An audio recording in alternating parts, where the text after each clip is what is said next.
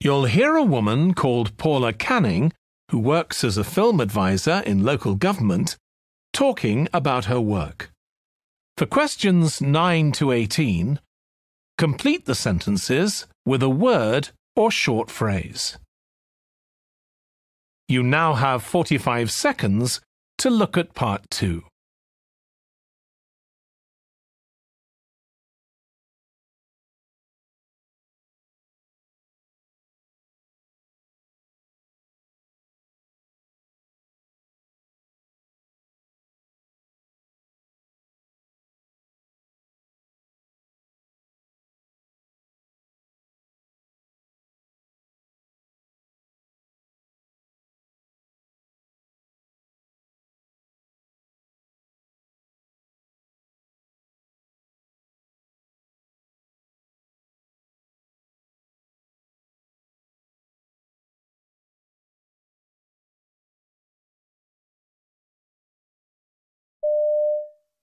Hi, I'm Paula Canning. I work in my local council's film department. Let me explain what that is exactly. I live in a region that's featured in many films and TV programmes, and tourists are attracted there as a result. So, the local council decided to create a department with the job of promoting the region both to filmmakers and to tourists who'd seen the films.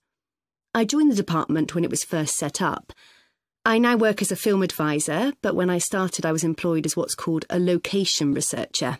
In other words, my job was to go round the region, trying to identify places that'd be good for filming the outdoor sequences in films and TV programmes.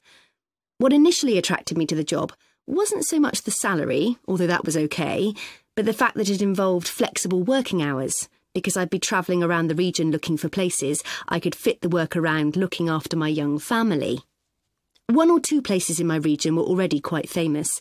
For example, a big country house that once appeared in a TV drama series, and a castle that's been used in a surprising number of horror films. My job, though, was to identify less obvious places that filmmakers wouldn't find without my help. For example, I worked a lot with a company that films advertisements. They'd come to me when they wanted to film a new car zooming up a mountain road or a field of cows for a cheese advert. I didn't always find what they were looking for, but I did suggest the beach in one ice cream advert that's been shown thousands of times in cinemas. I spent a year in that first job and really enjoyed it. It was fun working with the film industry and with local people too.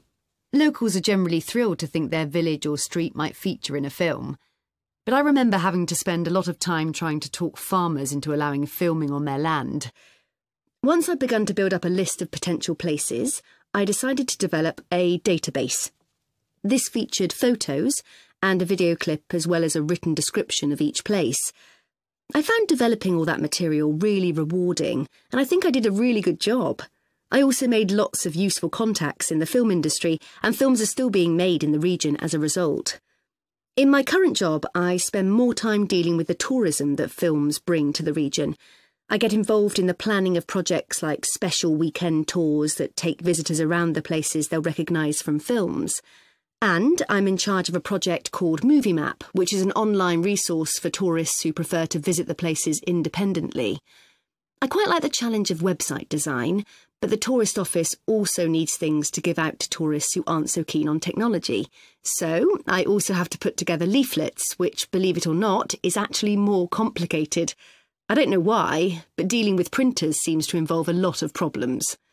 Another thing I've been working on is a set of guidelines for tour companies which take groups of visitors to the sites, especially if it's places where people live.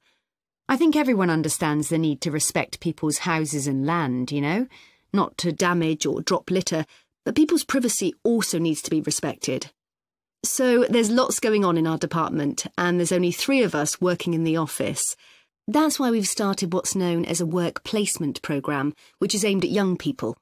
It involves voluntary work, of course, but if we can get local teenagers in full time education to come and work with us for a few weeks in the summer, it would help us and be great experience for them. So before I go on to the next section.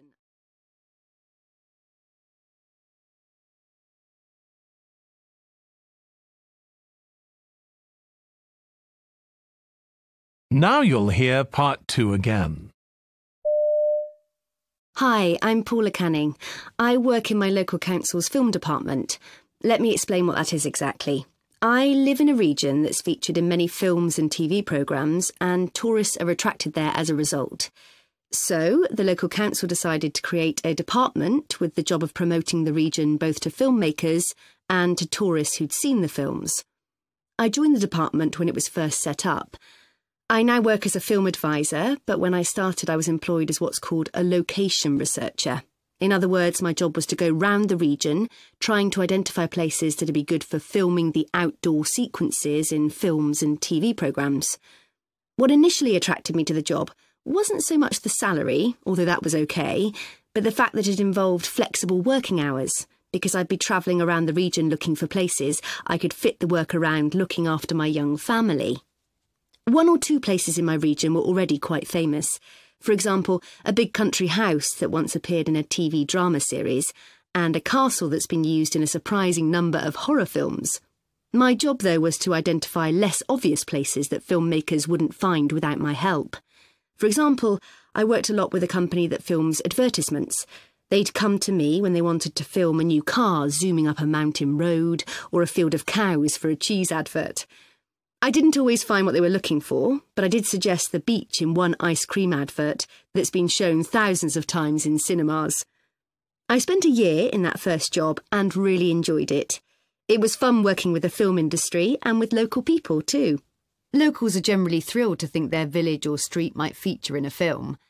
But I remember having to spend a lot of time trying to talk farmers into allowing filming on their land. Once I'd begun to build up a list of potential places, I decided to develop a database. This featured photos and a video clip as well as a written description of each place. I found developing all that material really rewarding, and I think I did a really good job. I also made lots of useful contacts in the film industry, and films are still being made in the region as a result. In my current job, I spend more time dealing with the tourism that films bring to the region. I get involved in the planning of projects like special weekend tours that take visitors around the places they'll recognise from films. And I'm in charge of a project called Movie Map, which is an online resource for tourists who prefer to visit the places independently. I quite like the challenge of website design, but the tourist office also needs things to give out to tourists who aren't so keen on technology. So I also have to put together leaflets, which, believe it or not, is actually more complicated. I don't know why, but dealing with printers seems to involve a lot of problems. Another thing I've been working on is a set of guidelines for tour companies which take groups of visitors to the sites, especially if it's places where people live. I think everyone understands the need to respect people's houses and land, you know? Not to damage or drop litter, but people's privacy also needs to be respected. So there's lots going on in our department, and there's only three of us working in the office. That's why we've started what's known as a work placement programme, which is aimed at young people.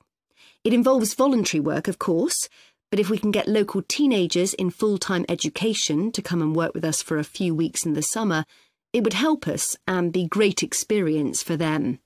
So before I go on to the next section...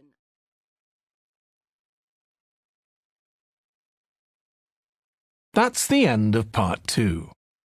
Now turn to part three.